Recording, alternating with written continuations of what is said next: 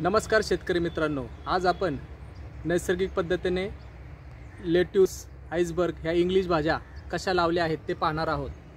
नैसर्गिक ग्रीन हाऊसमध्ये ही आपली शेवग्याची बाग आहे. याच्या सावलीमध्ये साठ चाळीस उन्हाचा ॲडव्हर्टेज घेऊन आपण अशा पद्धतीने हे लेट्यूस हा चायनीज कोबी हा जसं कोबी हा चायनीज कोबी आहे. हा लाल लेट्यूस आहे. त्यातीलच तो दुसरा प्रकार प्रकार बघा. तो पण लेट्यूस आहे.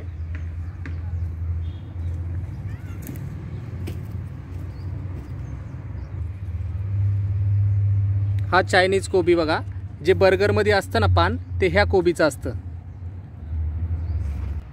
याला आपण जीवामृतच्या फवारण्या आणि आग्नेयास्त्राची फवारणी घेत असतो दर अमावस्येला आणि पौर्णिमेला. हे बघा ही सगळी जीवामृतची कमाल आहे. हा जो लेट्यूस दिसतो हा जीवामृतच्या मुळे एवढा भारी आला आहे. कुठं कीड नाही काय नाही. आणि हे खाण्यासाठी घेताना आपण इथं असं हे कच्चं खाण्यासाठी वापरतो आपण. हे असं कट करायचं. मधला गाभा याचा तोडायचा नाही. आता बाजारात नेताना हे झाड अख्खं कट करतात पण आपल्या हे किचन गार्डन असल्यामुळे आपण हे लागण तशी अशी छोटी छोटी पानं काढून हे कच्चं सालड म्हणून खायला वापरतो आपण हे.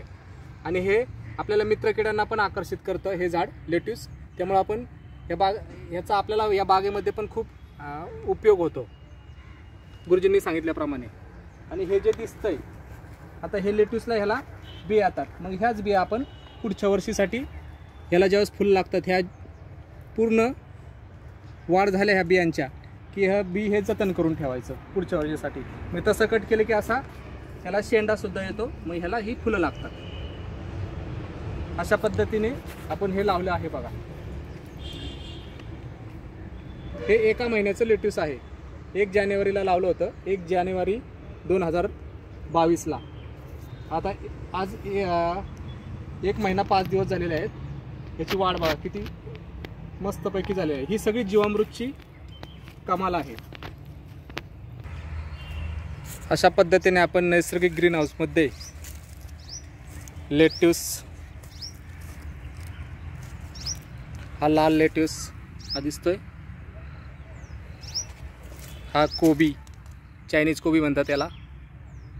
आणि त्याच्यामध्ये सापळा पीक म्हणून आपण झेंडू पालक हा लाल रेज राजगिरा नैसर्गिकरित्याच आला आहे. आणि त्यामध्ये आपण कांदा पातसुद्धा लावली आहे. त्यात मेथीसुद्धा आहे. आणि हा दिसतोय मावा मावा खाण्यासाठी आलेला ढाल्या किडा. ही आहे नैसर्गिक शेतीची कमाल. हा ढाल्या किडा एका वेळेस दीडशे दीडशे मवा खातो. याला ढाल्या किडा असं म्हणतात.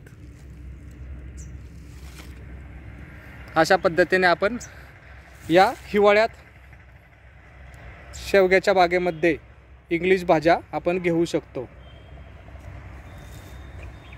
आंतरपीक म्हणून शेवग्यामध्ये.